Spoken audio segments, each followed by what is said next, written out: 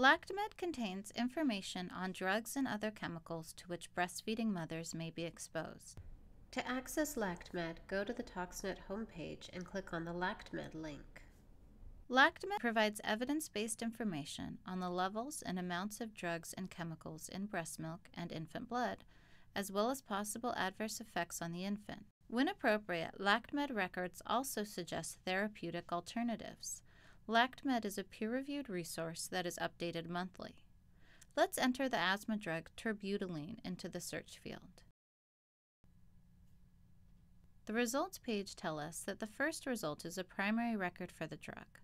All of the other results simply contain one or more mentions of the word terbutaline. When we click on the first result, we have the terbutaline entry in LactMed.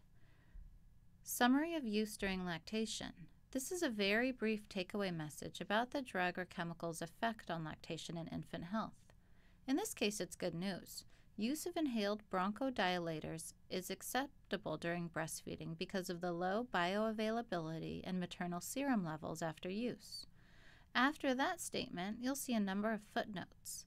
If you scroll down to the bottom of the page, you'll see the references section.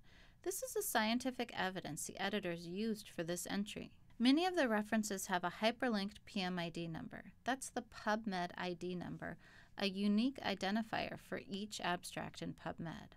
And that hyperlink will take you to the article's record in the PubMed database. Let's go back to the LactMed entry. Scrolling back up after the summary of use during lactation section, we also see drug levels, effects in breastfed infants, and effect on lactation and breast milk. In addition to searching LactMed for a specific drug, we can look up an entire class of drugs. This time, instead of using the search option, let's click on the Browse LactMed button. This is just a slightly different way to access information in LactMed. Once we start typing, we'll see terms that match what we've entered, in this case bronchodilators.